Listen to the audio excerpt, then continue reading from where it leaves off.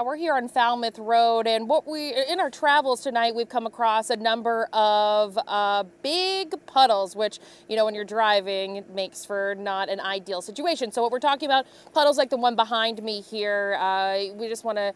Uh, people to be careful as they're out and about tonight because that heavy rain certainly left behind a lot of water. We had some street flooding that we came across earlier. Take a look at this video right now.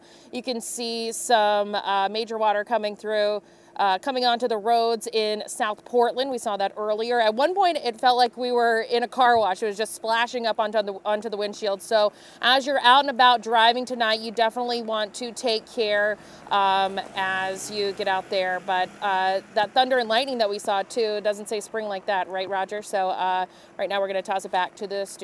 Live in Windham, Morgan Sturdivant, WMTW News 8.